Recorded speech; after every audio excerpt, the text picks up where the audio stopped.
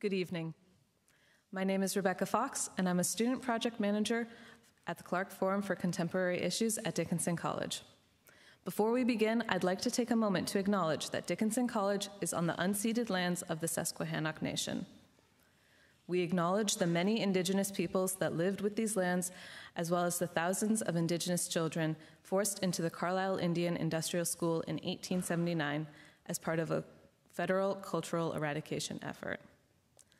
On behalf of the Clarke Forum and the Departments of English, Latin American, Latinx, and Caribbean Studies, the Creative Writing Program, and the Women's and Gender Resource Center, I'd like to welcome you to tonight's program, No Ruined Stone, a reading and conversation with Shara McCallum. You saturate the sight of those who came after, poets and painters alike. Your words invade my mind's listening, manacle my tongue when I try to speak. On all I backward cast my eye, and fear and cannot see. Who would I have been to you? What stone in the ruined house of the past? This beginning entry to Shara McCallum's No Ruined Stone is a narrator speaking to one of the world's renowned poets, Robert Burns, but I found myself reading it and feeling moved by the way the words could relate to any of the artistic heroes I personally hold dear. Poetry is not my chosen medium. I tend to create visual art rich with texture, details, and emotion. However, a good poem will grab a reader and make you feel as though you're standing in front of a six foot tall oil painting with a thousand brush strokes, complete with intricate details for you to unpack if you give it the time. Narrative poems are perhaps even more suited to this painting metaphor, as they'll show a wide picture of a scene, where the details within it give the audience more information about the intention and meaning of an overall story. Sharon McCallum is the award winning author of the books No Ruined Stone, Mad Woman, La Historia es un Cuarto, History is a Room, and The Water Between Us. Born to a Jamaican father and Venezuelan mother, McCallum has a personal connection with Caribbean culture and language. Her books have been translated into Spanish, Italian, French, Romanian, Turkish, and Dutch. She has been recognized by the Jamaican government with the OCM Bocas Prize for Caribbean Literature, as well as a Witter Bynner Fellowship from the U.S. Library of Congress, as well as a National Endowment for the Arts Fellowship in Poetry. Adrienne Su, who will be in conversation with Sharon McCallum, is a professor of creative writing at Dickinson College. She is the author of multiple books, the recipient of a National Endowment for the Arts Prize, and the current poet in residence at Dickinson College. There will be a question and answer session immediately following the program tonight, so please hold all questions until that time. The Clarke Forum welcomes differences of opinion expressed politely, thoughtfully, and succinctly.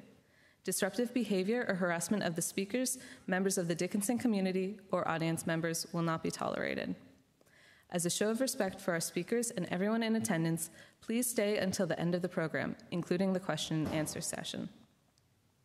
At this time, I ask you please silence all cell phones and other electronic devices. In the event of an emergency, please know that the handicapped accessible exits are located on the west side of the building. And now, please join me in welcoming our guests, Professor Shara McCallum and Professor Adrienne Su.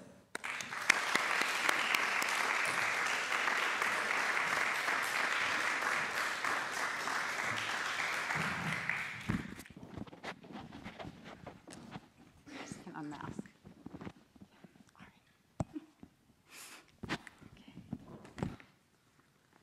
Good evening, everyone. Can you hear me? Okay, perfect, because I ripped the microphone off walking up here. so, Rebecca, thank you so much for the gorgeous introduction. Mark, thank you for inviting me, and everybody affiliated with the Clarke Forum and Dickinson for having me here. Um, many thank yous to all of you who've come here tonight in lieu of the many other things that you could be doing, including watching Squid Games. So, I so appreciate your kind attention. Um, Adrienne and I are going to have a conversation through poetry. Um, and I thought I would start with actually the poem that Rebecca led with. Mm-hmm. So I'll begin there, and then we will go back and forth, and you'll hear poems scattered throughout the conversation. No ruined stone. You saturate the sight of those who come after, poets and painters alike. Your words invade my mind's listening, manacle my tongue when I try to speak. On all I backward cast my eye and fear and cannot see. Who would I have been to you? What stone in the ruined house of the past?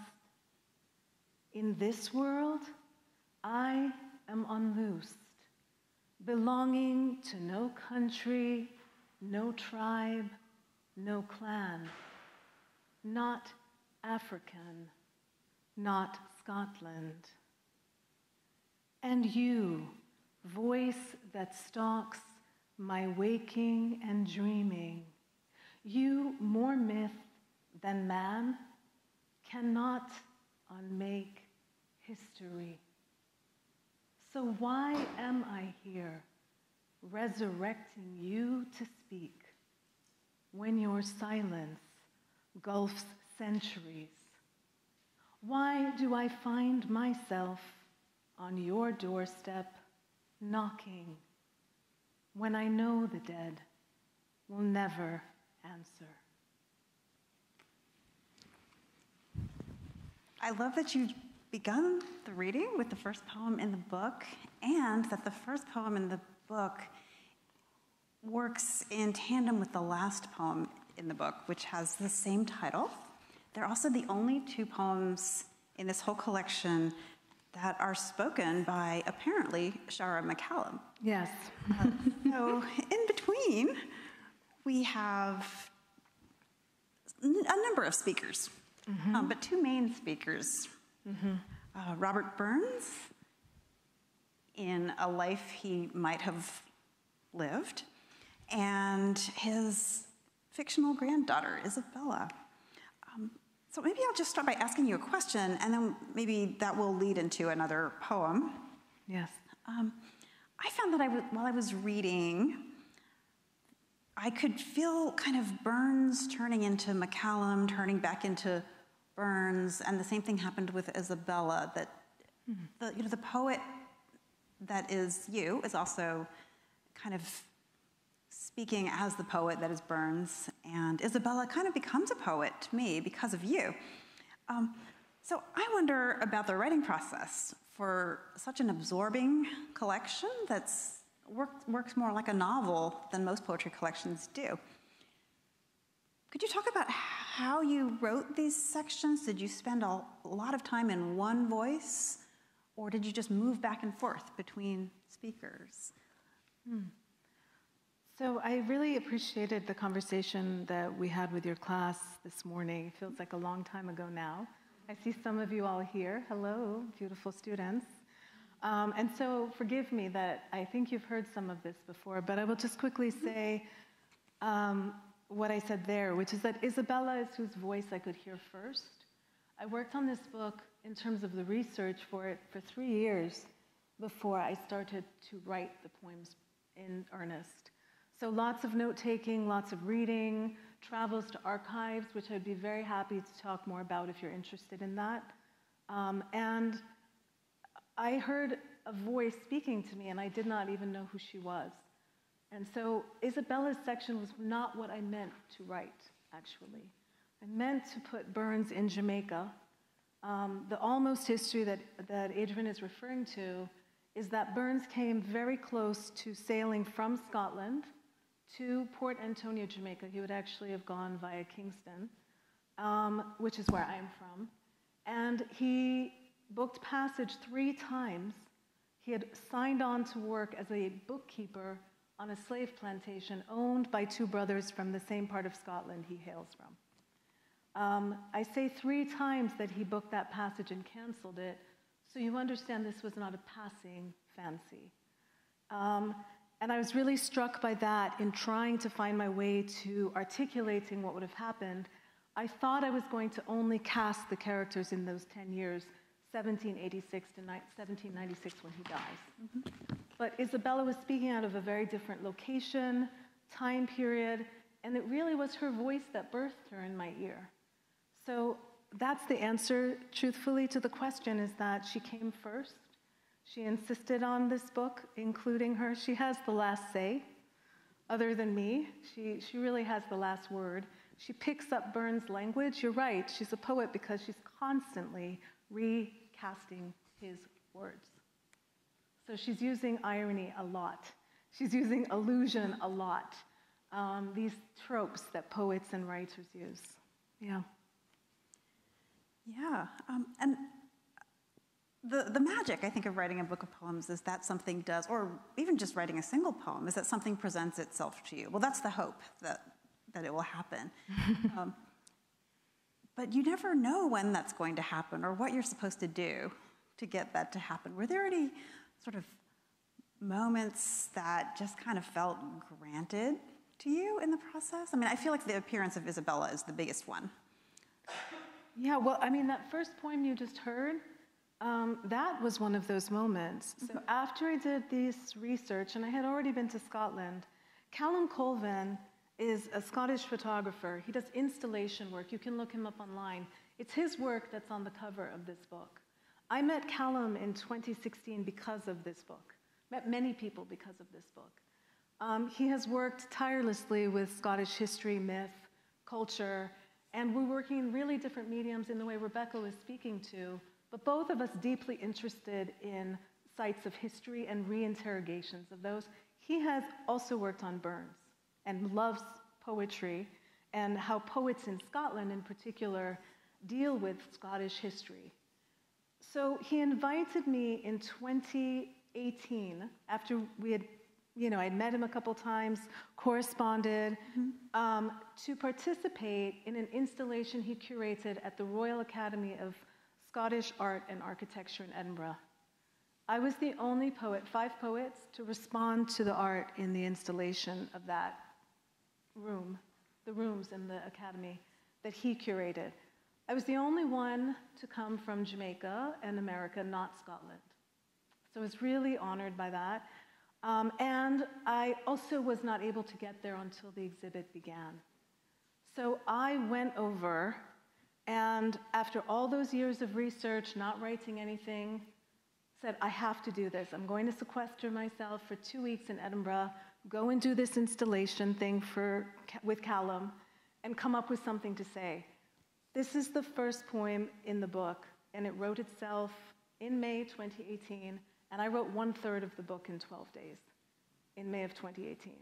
So that's how strange things happen sometimes. That doesn't mean I was just waiting, though, for three years. Active waiting is what's required, not passive waiting, right? So doing the research, thinking through the problems, um, and then it feels as if, like when we say we have intuition, I think we just have memory of what we've already learned and we forgot that we knew it. And so I think that's how that kind of process for me worked. Mm-hmm. You know, the gift of that poem.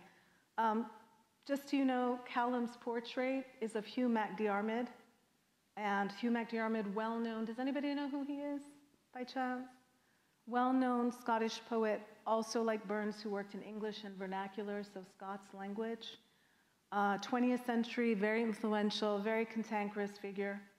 And um, his epigraph is uh, the, his, his a line from one of his poems is the epigraph for this book. So, so many gifts happened. The portrait of Hugh MacDiarmid has Robert Burns in his pupil that, that Calum created. I could not see that when Calum sent me the image until I stood in front of it. And when I was standing in front of it, Calum told me the poem by Hugh MacDiarmid. There was a picture right next to this of stones. Right? So all of these things that just all of a sudden, and the, it, the line from MacDiarmid is there are plenty of ruined buildings in, this, in the world, but no ruined stones.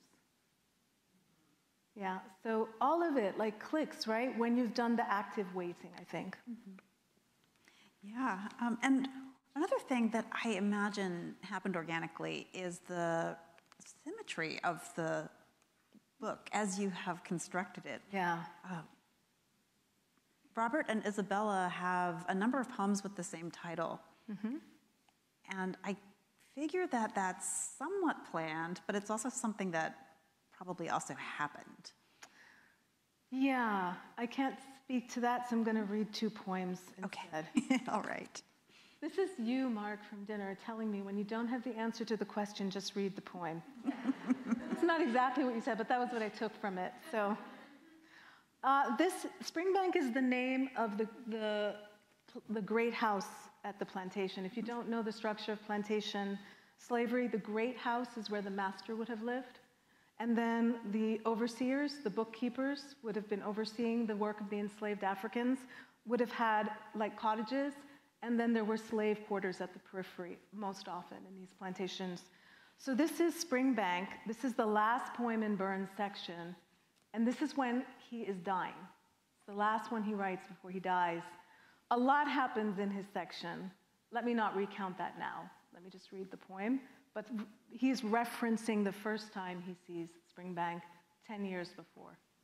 Springbank, place of memory now in ruin this point overlooking the sea, this cliff, this perch, paradise to none but one who came imagining he could be Lord, could be unmoored from class and caste. The way past is always the way through. After sea, Overland, we traversed mountain, rocky passages flanking us, abutted by gullies, oversized plants casting their shadows. The horses' hooves trod and trod until stone gave way to field. And we entered the valley, approaching the great house from behind. That first sight rises still in my mind, bodying forth false promise. Look twice or you leap once. Echoes now fruitless. Oh, what foolishness lies in the heart of man, gleaming wish to be more that waits for its chance to pounce and savage. So that's Burns and his Springbank. Time elapses, Burns dies. You need to know this before I read Isabella's, her genealogy. There's even a genealogical chart that I included in the book. Um, Burns has a relationship with an enslaved African woman named Nancy. They birth a child, and that child is in childhood when Burns dies. She grows up a mulatta on that plantation.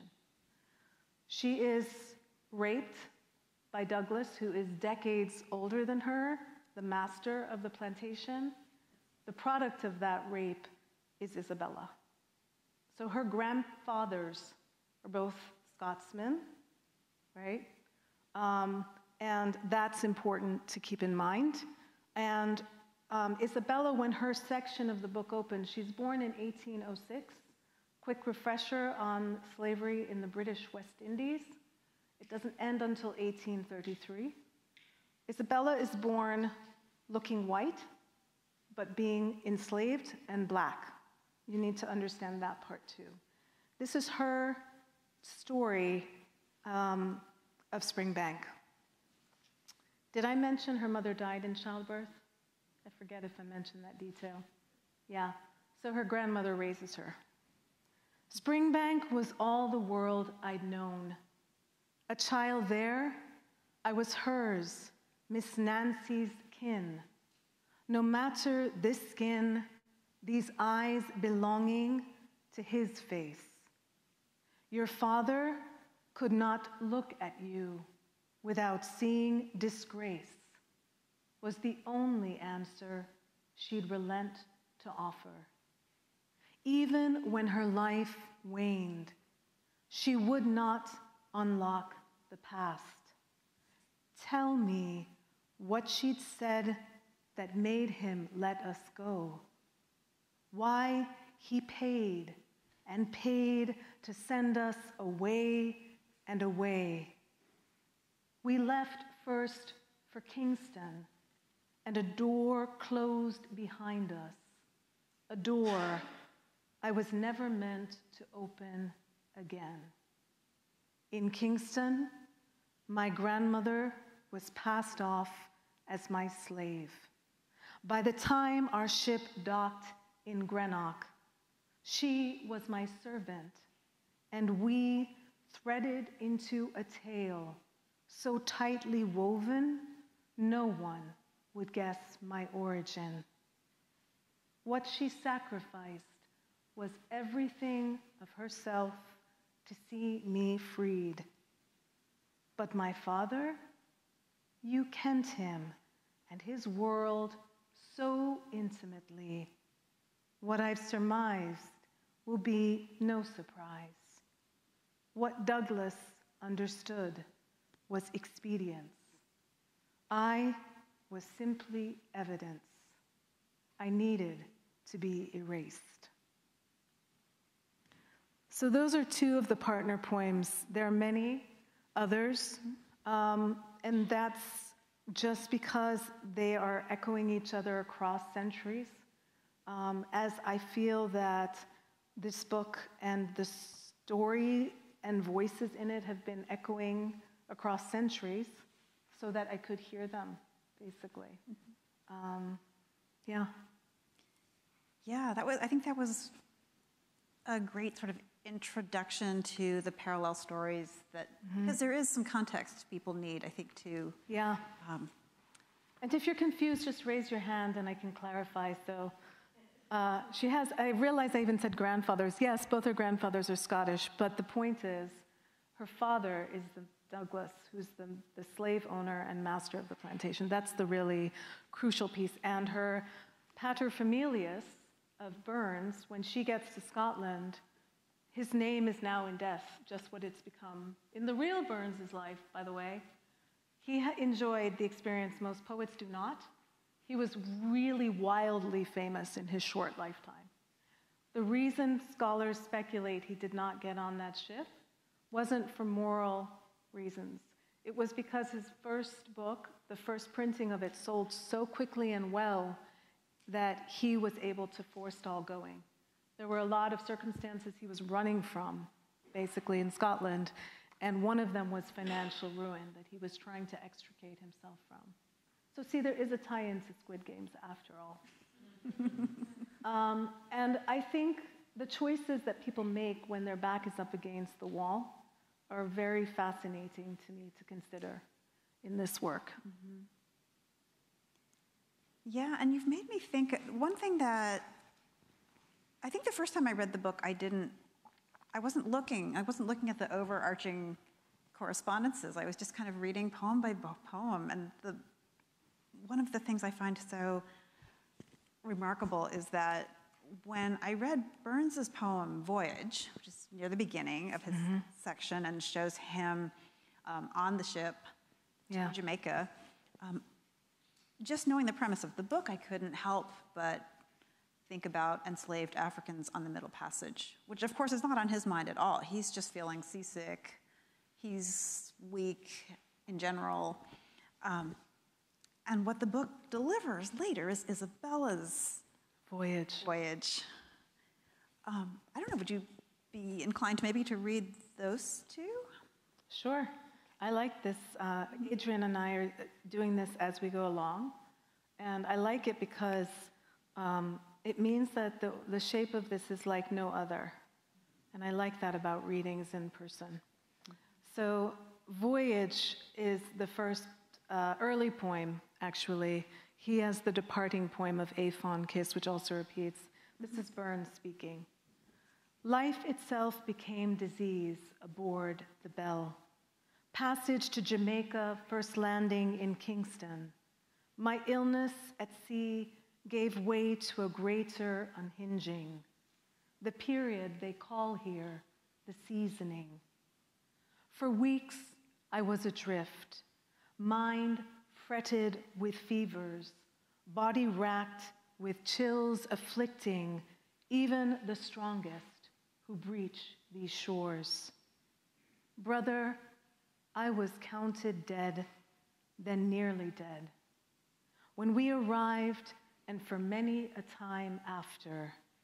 I was nine parts, nine tenths out of ten, stark, staring, mad.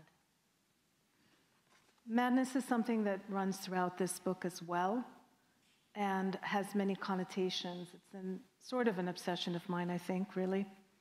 This is Isabella, and this is interesting to think about because this is the last time she speaks. And the choice, as I spoke with the students about earlier, that she's faced is whether or not her grandmother has died. She's grieving her grandmother. And when her grandmother dies, the only person who knows who she actually is exits the world at that point. Her famous grandfather, she can't claim him because that will give up her ruse. Douglas family wants nothing to do with her. And um, she's married to a white Scotsman, and he doesn't know he's married to a black woman. So she's really struggling throughout with what to choose. She makes that choice, and as the beautiful readers in Adrienne's class firmly established, she does decide she will not keep passing. So I'm spoiling the book, but I hope you'll still read it if you're interested in seeing how it unfolds. But you sort of need to know that to hear Voyage. Um, this book also deliberately is dealing with, of course, the history of the Middle Passage throughout Voyage. For days our ship had listed in storms, but at last the waters stilled. In the middle of our crossing, came a calm, and the sea, a sheet of glass, reflected only moon and stars and cloudless sky, as if all that was before and all that was to come was dream. Above and below us lay two firmaments, and we, marooned by history, by memory, became the between. In the wake of tempests, the sea offered faint reckoning, wave upon wave, dimly echoing, winds lashing of rope to mast, as that night splintered into every night, and the stars numberless as the souls lost to the sea's depths, revealed the routes we would have to take to recover the wreckage of ourselves. I'll stop and let you talk again, Adrienne. I like it. That's great. Um, yeah, I, I think part of what for me makes this book so wonderful to just kind of live with. And I've had the privilege of living with it longer than it's been officially out. Mm-hmm. Gave me a sneak peek.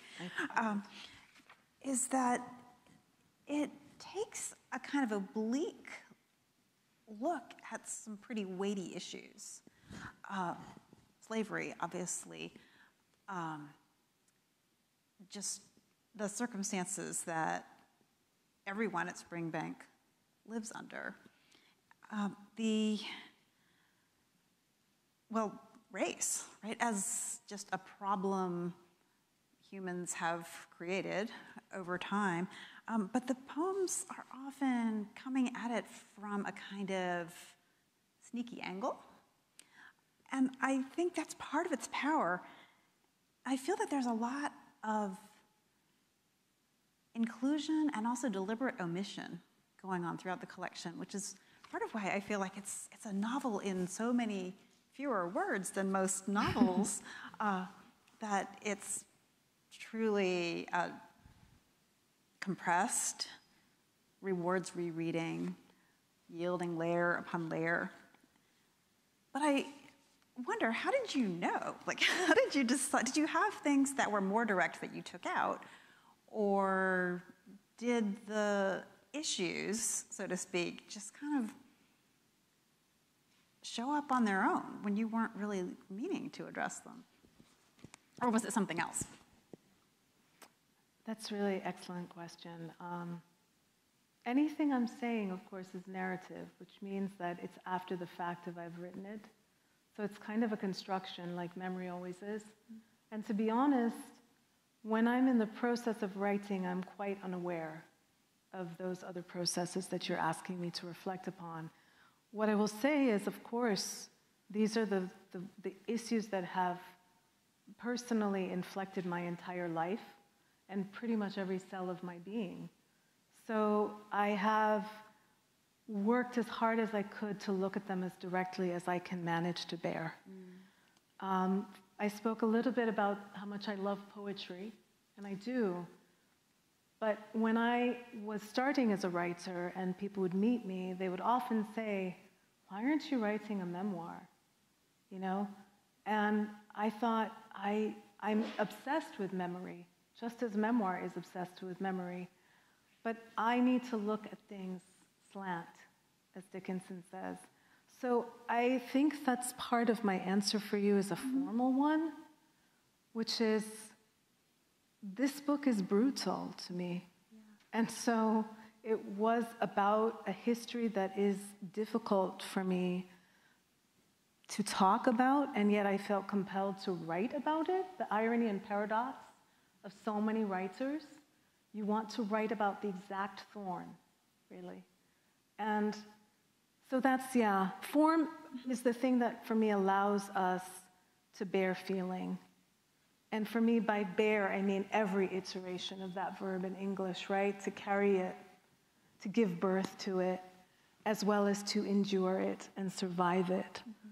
So, all of those are my answer to your mm-hmm. really beautiful question um, about what comes first. I don't know. It's mm-hmm. when, when they come together, then that's when you know you're singing because you can't tell where form and feeling are separated anymore. Yeah, oh, so much to think about. Um, and I know you've written in personas in the past before sure this, have. this book. Uh, and just to make sure everybody knows what we mean, because it's also a craft term, yeah. poetry, would be the poem speaking in the voice of somebody who is explicitly not the poet. Yeah. And I won't give my discourse on persona today, but I will also say, you know, it comes out of many different traditions. Some of you have studied psychology or philosophy, have also studied the persona, and I mean it in those iterations as well. Um, it's the mask. It's it's the thing you put on so that you can basically get away from yourself ostensibly, but find that you become more yourself by putting on that mask. And so that's the idea of persona that I really like. Formally, it's a dramatic monologue. So I want to obviously be on a stage still. This is what this tells me. You know, I once was a performing, uh, stri- you know, aspiring performing artist, right? I love theater, dance, singing, acting. And I think that that must be really why these poems are the way they are so often, because there's something about the fact of performativity and orality that poetry lends itself to that I think is really striking to me in terms of capturing character, tone, attitude, multiplicity of tone, not just one tone. And I'm always trying to get that into a poem. And so, you know, persona is kind of what you said earlier, Adrienne, is really wise. Um, these poems are, ab- you know, about Shara and they're not about Shara at the same time, right? Especially, I'm grateful you pointed out the Burns connection. Everybody says Isabella is me, you know? And I'm like, yeah, okay, so we bear a striking resemblance in some ways. I get it. However, she's not me. She is born into a different century. She's born into a different country. So, no, mm-hmm. but it's nice to hear that there's a recognition that even in Burns, who was farther away from me and harder to access, of course, there's the desire for poetry and to be a good person running throughout his section, mm-hmm. despite what he does. He wants to be good. And that's a powerful conundrum and complexity, I think, to then create a character out of. Yeah. Yeah. Uh, and back to the persona, I mean, we've talked in yeah. class, and I think even this morning with you about how the persona can be a way to uh, maybe preserve a little bit of your own space as a person, that you know, the person who's speaking is not you, but it can also be very revealing of your innermost thoughts. Exactly. When I said, like, it's the thing you think you put on so you can escape yourself, but you become more yourself. Mm-hmm. So this goes way back for me. I mean, from my first book, I just started to do this without even thinking about it, right? So a lot of my, my friends who were poets were writing narrative poems. And I love a story, but I cannot tell a story directly to save my life. I can barely answer your question without going off on six different tangents, right? So I found that the thing that was pulling me was to constantly put on these personae.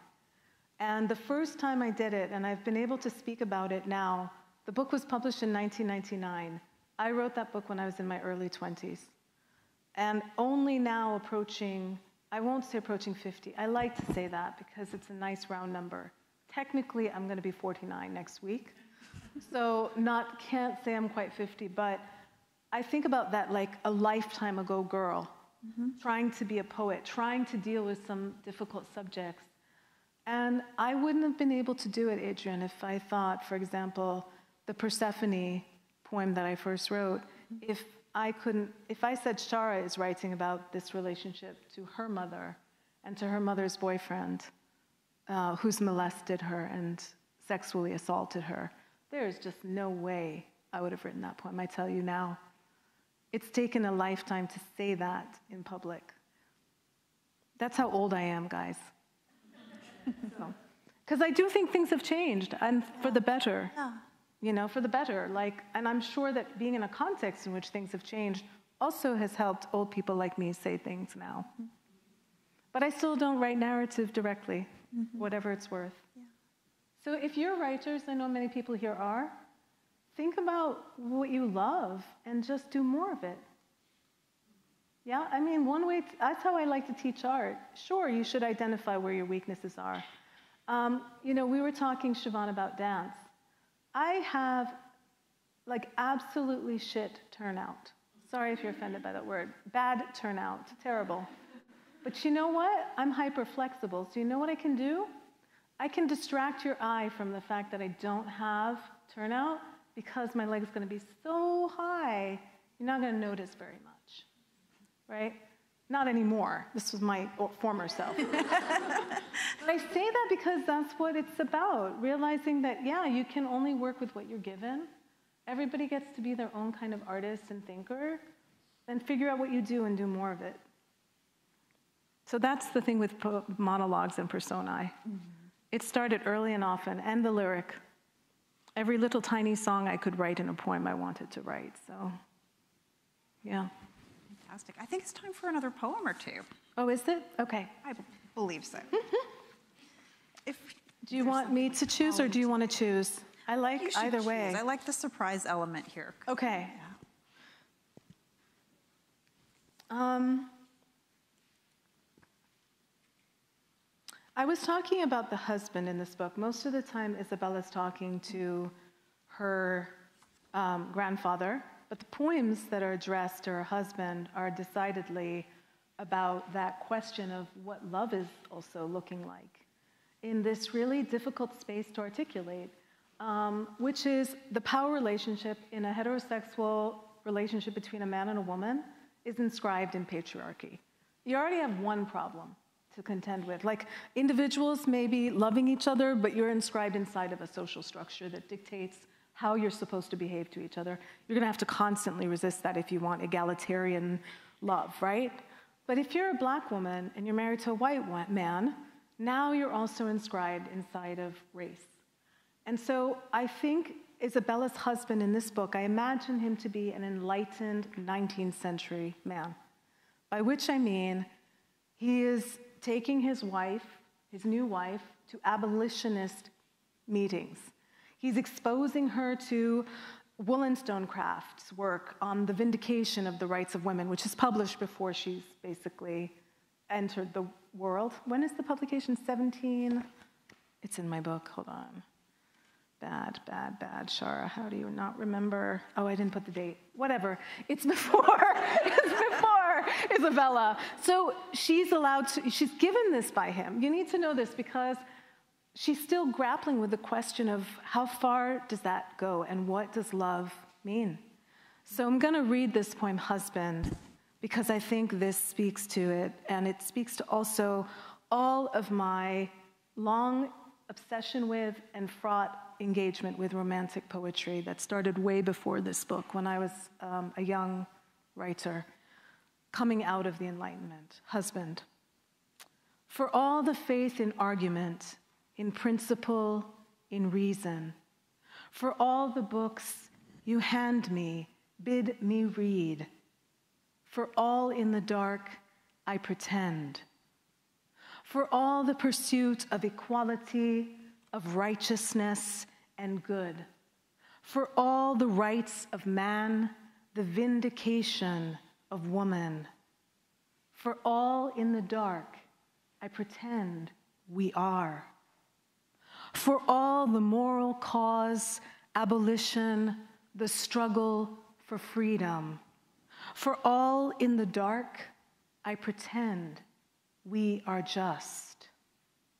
For all the history of heroes and foes, the victors and the vanquished.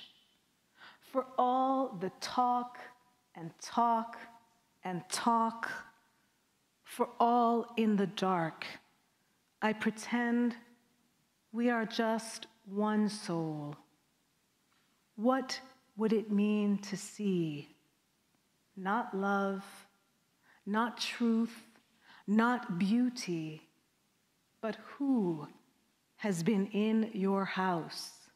Who sleeping in your bed? The capital LTB in that penultimate line, um, well, the love, not so much, but um, it's Keats I'm really grappling with there too, not just Burns at that moment. So, um, you know,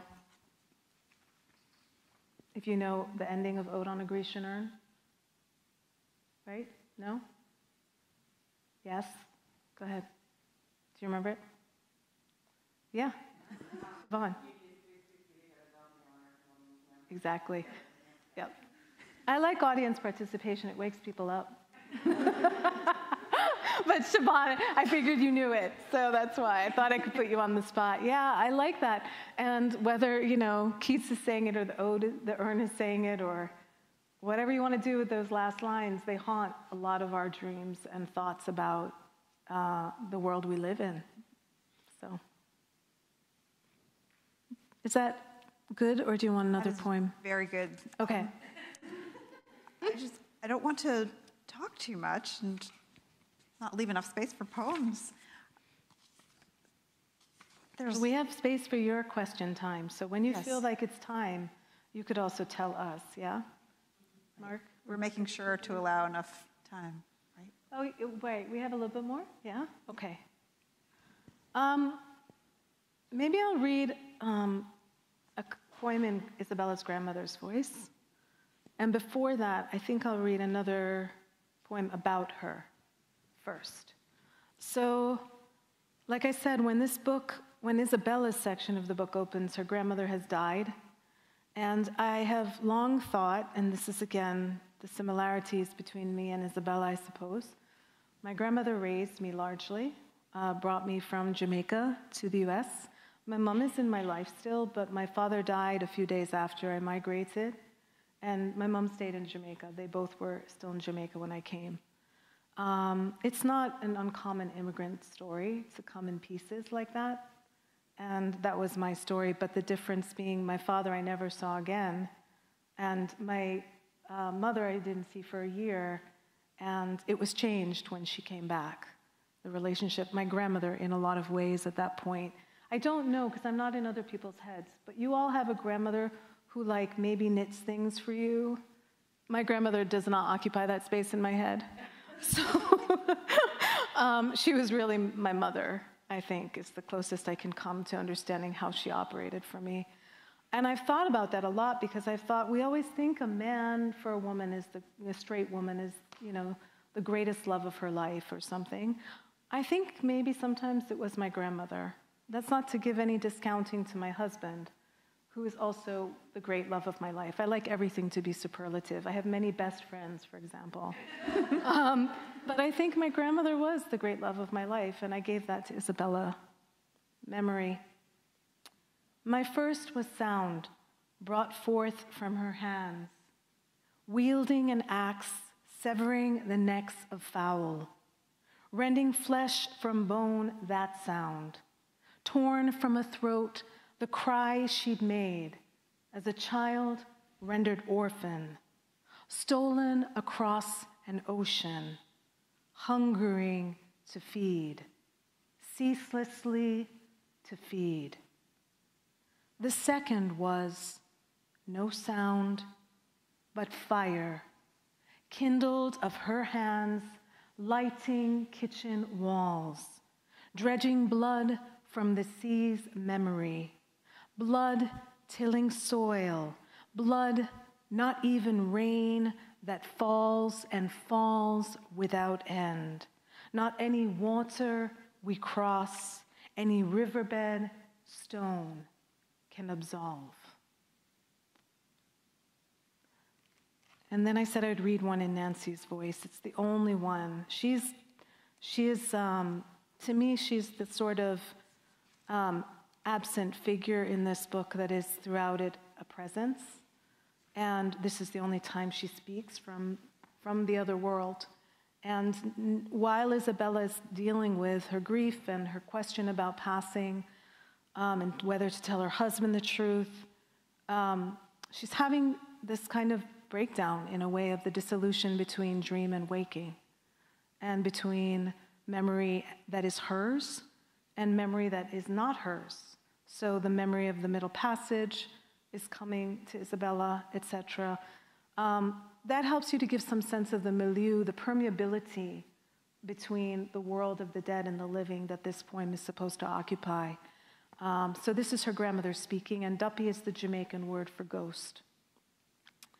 At the hour of duppy and dream, Miss Nancy speaks. And the you, sorry, is Isabella. She's addressing her. You think what lies before you asks more than you can bear.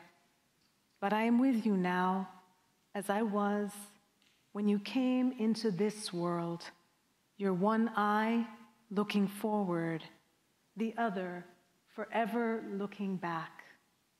From the netherworld, you were flung into this one, squalling, full of that scent we could not wash away. Your mother's breath extinguished as you gulped your first. The call swaddling your face till we lifted it, unveiling, beholding the unasked for. Girl child, cast down in a place of stone, of men who cannot see to see do not hear what needs listening. Men who have riven borders and nations, and you in whom the rift has opened. Hear me, for I was there in the beginning, witness as you entered, as you came dusking, tearing all asunder rending the fabric they call truth. I'm so glad we get to hear from Nancy because she's the person I'm always thinking of as while I'm reading everyone else's voice mm-hmm. here, uh, because she's really the beginning of the book. She's in the beginning. She's throughout. Yeah. Um, yeah, she's a really complex figure in this book for me. Um, from because she's powerful, basically. I dislike the narratives of slavery that suggest that the enslaved were powerless entirely. Um, just, I don't believe in it. I've watched, in Jamaica, we have an expression for women. I'm, I'm the tallest in my family, and I'm also wearing these. They're very comfortable, and they give me some height. But I'm like barely 5'4, and I'm on the tall side. My grandmother was below five feet by the end of her life. And we have an expression that says, Shileko bit but chitalawa. meaning like she might seem small, but she is fierce. And that's what I know. That's the world I know. And so, and I just wanted Nancy to be that. Not just, of course, she's enslaved, but she is powerful. And so that's why she's a force so much in this work throughout. Mm-hmm. Um, even in the, she has the power to refuse Burns and does. She frightens Douglas, basically. She's that kind of African woman who, you know, in Jamaica, Obeah is a belief system, and she becomes basically a complete practitioner, artist when it comes to that. She learns how to create abortions. She's super powerful force.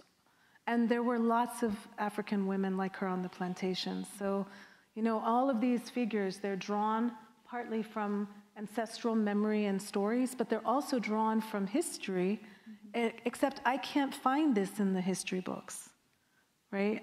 So that's also why I think Isabella is here and why Nancy is here is this is the history that's not existing that I am made of that the only way to, to write it is in a way creatively, you know? Um, so that's kind of going into the direction of the research question of this book. But the question I'm trying to answer over and over again are the questions. They're ones where the limits epistemologically for history fail. The way we understand history, the way we, we, we understand it construct, it's constructed, why do we have the stories we have and not others? Because who gets to save their materials for us to examine decades and generations and hundreds of years later? And if your materials aren't there to be examined, then you are written out of the annals of history. Yeah? So, anyway, I'm rambling. I'm stopping. You're not now. rambling. You're doing what we asked you to come do. It's wonderful. um, I have one more, another question about maybe, maybe a larger ranging question about you as a poet. Okay. Um, it's clear that you've been navigating the way English is spoken in many different countries. Yeah. Um, obviously, Jamaica, Scotland, England. You were living in London when this all began. Yep. Um, mm-hmm. And Pennsylvania? That's not a country, I realize. No, but it has a different, but it has a different and identifiable syntax for me after 18 years of living here. Absolutely. Um, the completion of the verb without the to be tells me I'm in Pennsylvania. right. Needs fixed. I know I'm in Central PA now. Yep. So do all those different Englishes, when they collide or when you go from one to another, do things to your imagination? Of course, because I love um, song and I love language for its sound, and it's fascinating to me the compression of insight that comes through sound and syntax. And so, an idiom you know, much is lost, it feels for me, by the. In a lot of ways, I'm writing books to try to like reclaim and bring back these fragments of language that I want restored. As much as I want the past restored, I want the language to come back too. So, um, and I don't want it restored in the way it was, I want to get to reassemble it. so I should be quite clear about that. Um, you know, um, but yeah, I think language is um, endlessly fascinating for its etymology. Its, its, uh, the example I gave was just this week, after all this time of researching this book, spending in Scotland. Um, my husband said to me, Hey, don't you think it's really funny that the pepper that defines, he's an American, the, the food you eat, the Scotch bonnet, you always just say it like one word, Scotch bonnet. And he's like, Don't you think that's kind of funny? It's Scotch bonnet and it looks like a bonnet, like, like the Scots tam. And I was like, huh, I've used that my entire life and not thought about it until that moment, right? That's how language is like we accept whatever world we are born into as our language, but there's all these layers of history inside of the words and those turns of phrases. So the more I can bring those back, the more I can layer these, these migrations. Mm-hmm basically, yeah. um, forced and chosen alike. I'm not sure how much I feel about the chosen because that hasn't been my experience. Mm-hmm. Most of the time in human history, people were forced one way or another to migrate. In 21st century world, who knows, because of COVID, things are shifting again. But globalization's promise was that we could just go everywhere, right, without consequence.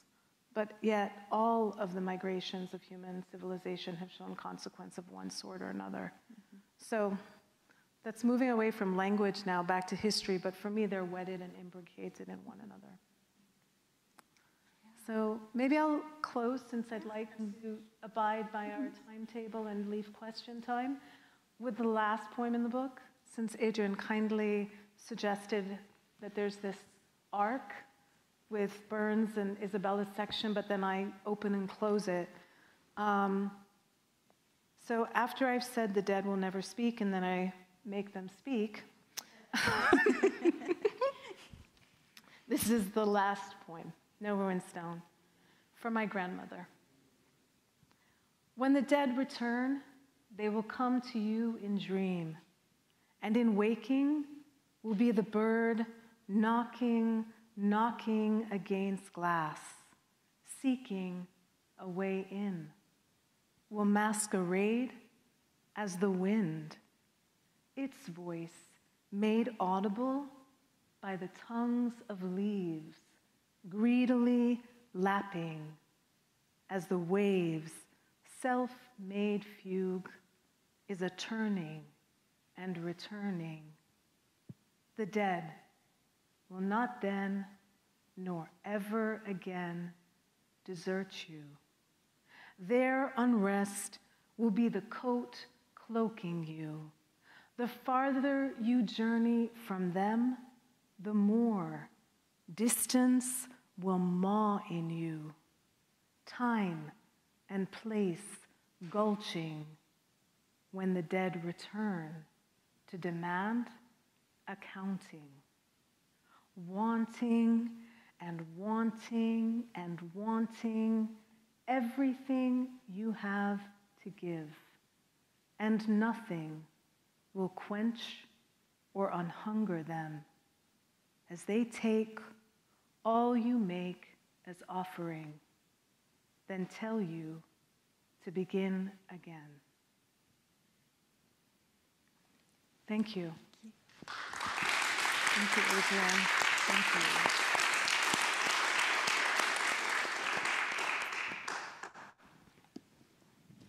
It is now time for the question and answer session.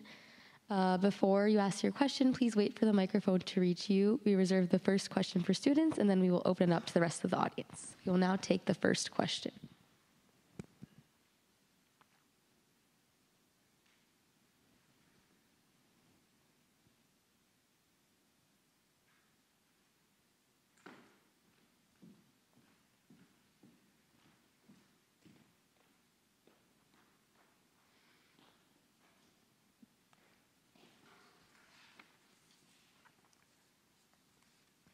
Hi, thank you so much for tonight. Um, I'm so excited to read this book. Um, I just wanted to hear more about your journey as a poet and as an artist. Um, and I love to hear that you have these backgrounds in different art forms, and I was wondering how that worked into your work now. Yeah. Well, I'm going to I'm gonna thank you for your kind comments, by the way, and for being here. Um, I'm going to direct this specifically to students, and everyone else just re- rewind the years and come along with me. Um, I went to university after giving up art.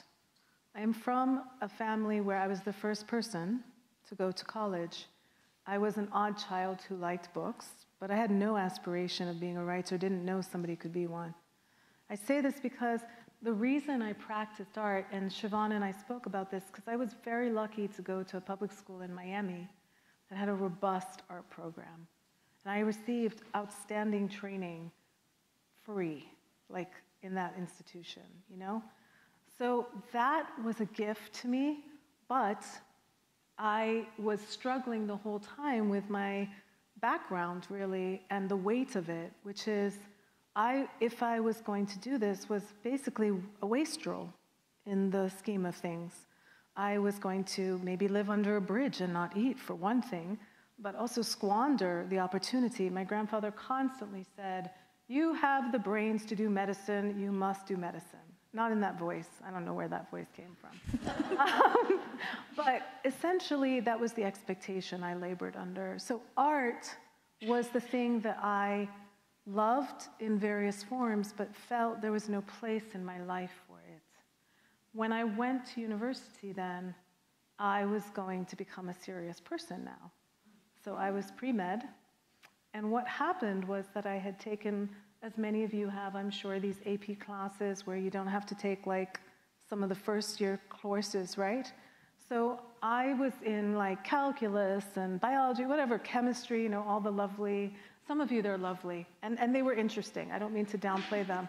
but um, what I found interesting looking back is I was able to sign up for a survey in the British Romantic Poets that first semester as a first year student because I didn't need the other requirements. Well, as it turns out, I just kept reading that instead of the other subjects that I was really supposed to be paying attention to as a pre med student.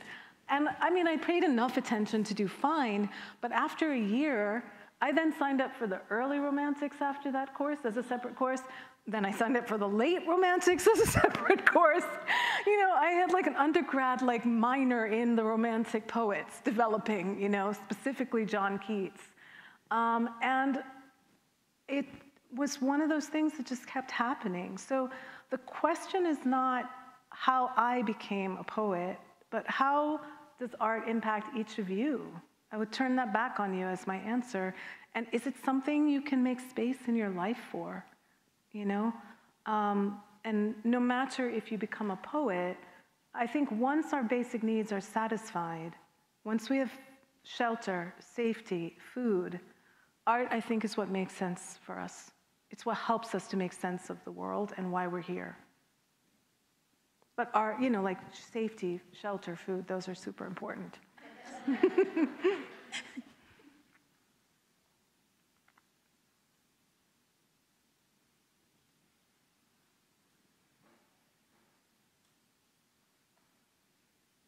Hi, Shara. It's um, lovely to see you again and you wonderful to hear your work. Um, I'm really looking forward to reading this book, and so I can't speak to the other poems in it besides the ones I heard you read. Mm-hmm. But I kept noticing moments in a number of the poems, especially the first Burns poem mm-hmm. and the poem in Nancy's voice, where there are um, vistas referenced in some way, an act of looking out on something mm-hmm. or beholding something right. or taking a sight in and then meditating on that. And I was wondering if you could speak a little bit to what extent maybe those kinds of vistas or that act of, of looking or beholding mm-hmm. recurs in this collection and maybe how it speaks to um, some of the central questions the book examines, especially in relation to to acts of seeing and reckoning with or of moving towards or away from right. something? That's a great question. It's great to see you again, too. I would say it's um, partly because in our language, we use sight in many ways. We use it to mean the eye, you know, the, the act of light hitting the cornea. And for those of us who are sighted and being able to assemble the world or a simulacrum of it, but more often, we use it in the figurative sense insight, wisdom, truth, those things. So I'm sort of really obsessed with this idea of where is sight occurring for each of these characters and history and moments in history, but also where is their blindness? Where are these spots that they are all missing? You know? And so those are, my answer is that yes, it's about sight, but it's also about what's not being seen by them.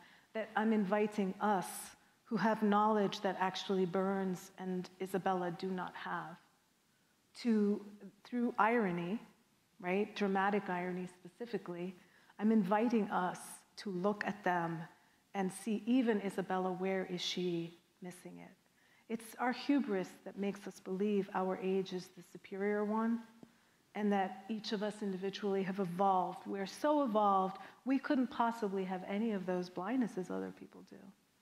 I think that's our narcissism and myopia personally. So I'm trying to construct a world where that tension is in play. Thank you. It's a great question.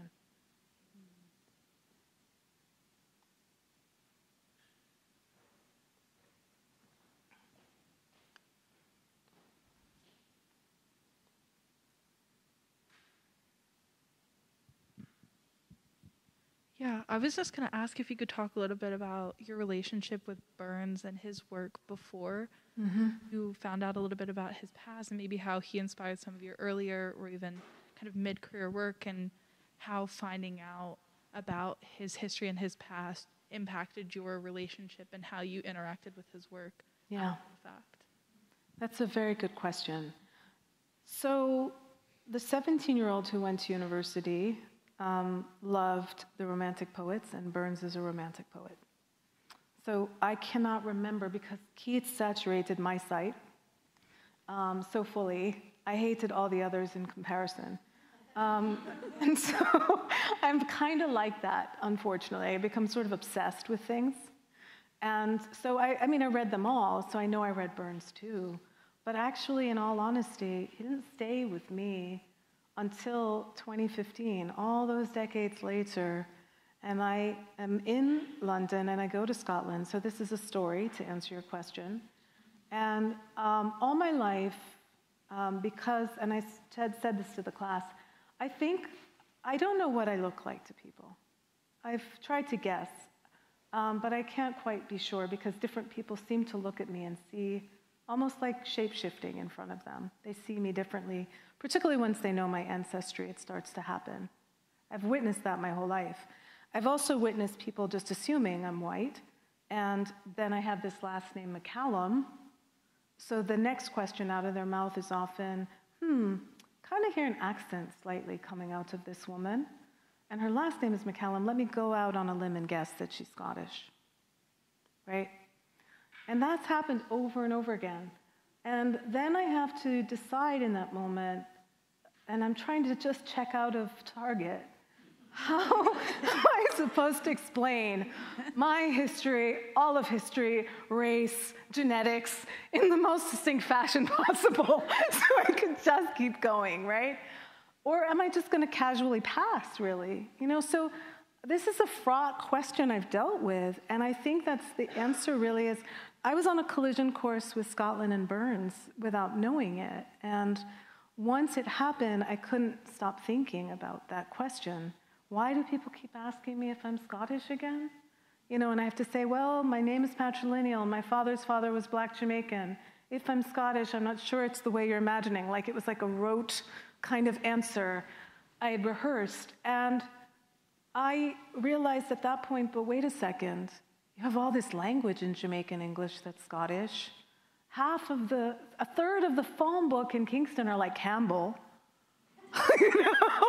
Like what? So I started to dig into this. And of course, then Burns came back. I had memory of Ode to a Mouse in particular. Ode to a Mouse is like tragically reimagined in this book a lot, if you know that poem, um, because I loved it. I also love his, his song, A Fond Kiss. If I can give you a gift today, earlier I told the students Cassandra Wilson, Love is Blindness. Also, I'm giving that to all of you. Um, but also, A Fond Kiss by Eddie Reader. Look it up on YouTube. You will be so thankful. Anything else you forget about tonight is fine. okay? Um, I loved it, so of course I had to recast it and grapple with it. So that's what happened with Burns. Is like, you know, you love a thing so much, and then Rebecca, I mean, you were speaking to this, I think. The, the, the art by these progenitors, that you love their work, and then you find out this part about who they were, and all of a sudden, like over and over again, you have to reckon with, like, oh, they would never have seen me. Like, oh, I think I'm an artist in their tradition. This is the problem. I think I'm an artist in their tradition, right? I have many traditions, but I'm like, sure, I read the heck out of the British Romantics. Of course, that's part of my tradition as a poet, right? And then you realize, like, no, you're not seen. So that's Burns. I hope that's clear. Yeah? Okay. Maybe I wanted him to see me. I don't know. Mariana? This is my daughter's explanation for this book. She said, You go to such lengths to try to explain this book, Mother. Just tell people you became obsessed with Robert Burns and you wrote fan fiction in which you're his granddaughter. so that's my, my daughter's summary for you.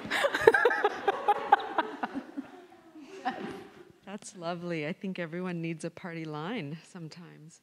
So thank you so much for all of these thoughts. And the question I have is more a rumination. It will probably sound like it's coming out of left field, and that's that's my specialty. Um, I am just hearing you talk about history in ways that really are not um, limited to Jamaica, of course, and plantation history there. As a Caribbean scholar, I have to ask you whether No Ruined Stone may have resonance with Sans Souci, the palace of um, Henri Christophe in Haiti. Is there any resonance with the Haitian Revolution and its legacy in this broader, I guess, landscape that you're mm-hmm. tracking in? And I, mm-hmm.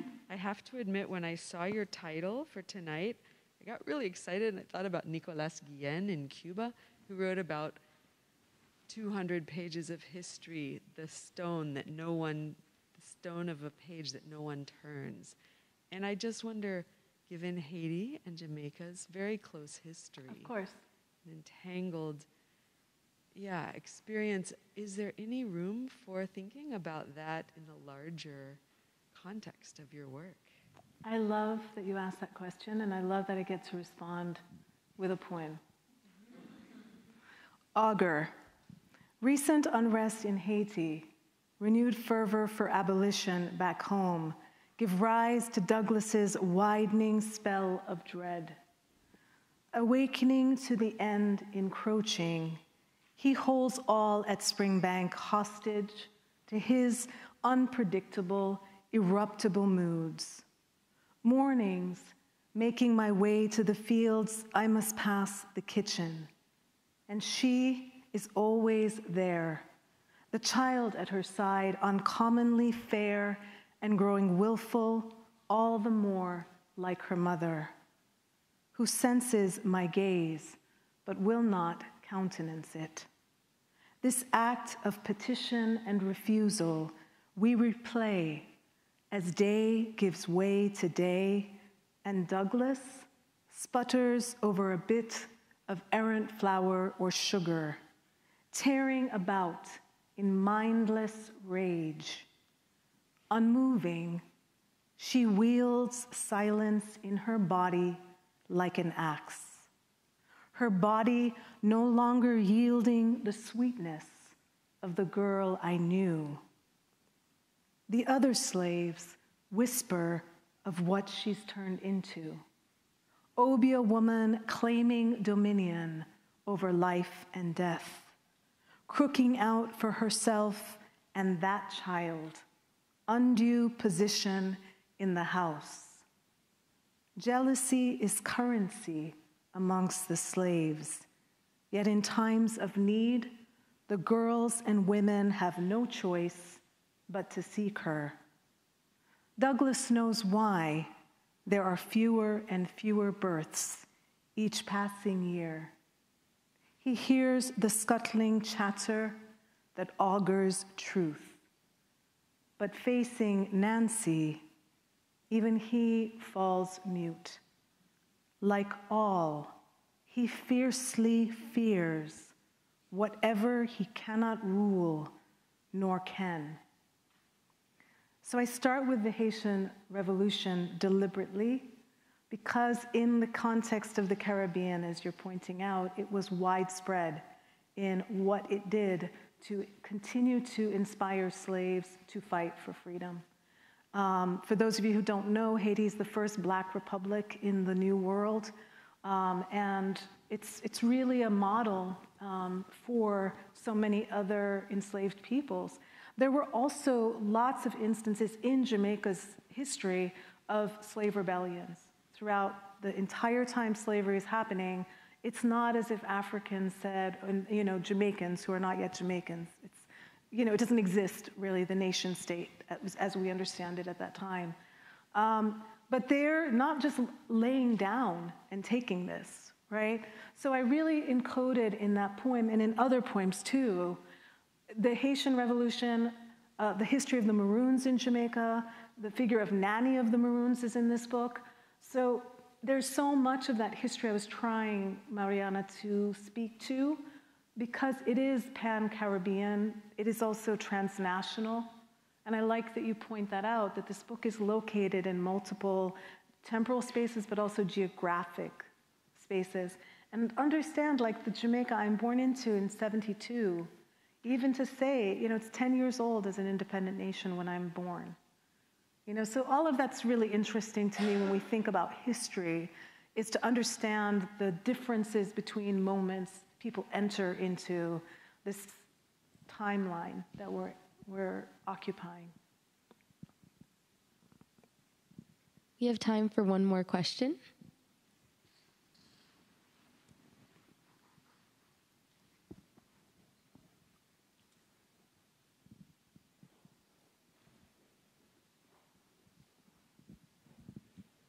Thank you, Shara and Adrienne. It's been a really fascinating conversation. Um, I wanted to ask about the first poem you read, and if I recall correctly, and that's very possibly I'm not, but I think I um, heard the voice ask of Robert Burns, What am I doing here? And I heard that here, I took that to, to be you referring to the kind of con- constructed geography of, of the collection that you're in the process of creating. And so my, my question is if, if that makes any sense to you as in, in, in the context of, of your creative art. And if so, if that kind of imaginative geography for you is more a looking out or a looking in. Mm-hmm. So I will say I love that reading, Mark. Love it. Um, there's, there's so many answers to the question, so I'll start with the most basic. I wrote the poem in Scotland, and I literally was on his doorstep. Went to Ayrshire, where he was born, and traced his life. I spent two weeks traveling and basically went everywhere he ever was. But I also think my whole life I'm interested in the second part of what you've said, which is here is a constructed space. In poetry, for me, it's always elegiac, it's always memory. It's meaning to say, for example, I've written about Jamaica a lot, a lot, a lot, a lot, a lot. The Jamaica I write about does not exist, except in my memory and in the writing. And that's why I keep obsessively writing about it in a way. As I said, with language, I'm always trying to hold on to it. It's like I'm trying to, I'm trying to defy death and time, basically, as a writer. I don't know how else to put it. Like, I, I want not to have them have the last say. You know? So the only way I can resurrect my dead is as a writer to bring them back and have them speak and that means to say that the here is all these different temporal moments collaged. All these geographies collaged. Yeah, it's such a good reading. Much better than my very, very mundane, I went to Scotland.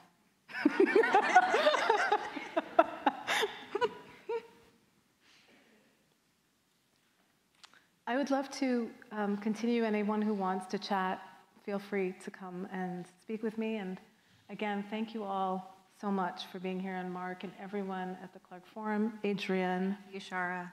This was really, really, really brilliant to be part of this evening with all you. Thank you.